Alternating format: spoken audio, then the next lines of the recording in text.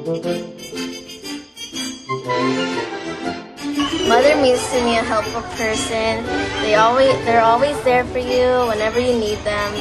A mother means like a really a guardian that helps you whenever you're in trouble. A mother is someone uh, who's your best friend, your guardian, your protector, and just somebody that you know that you'll always love and will love you back.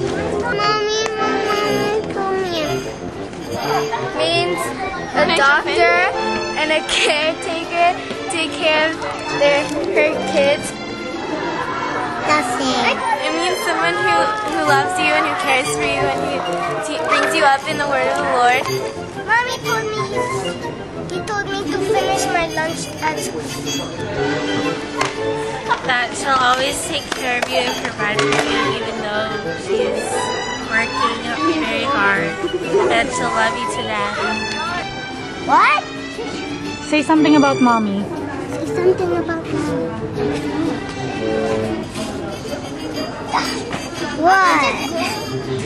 Well, Mother's Day is very important to us because uh, mother is taking care of our kids, doing the house, and doing a great job. uh, Christian mother is one who uh, mother is number one in the war.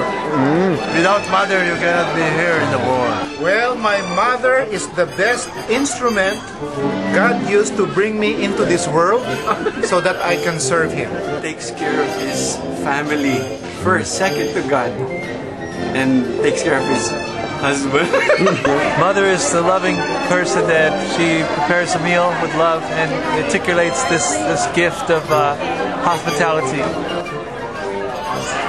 Mother is caring. Uh, I miss my mom.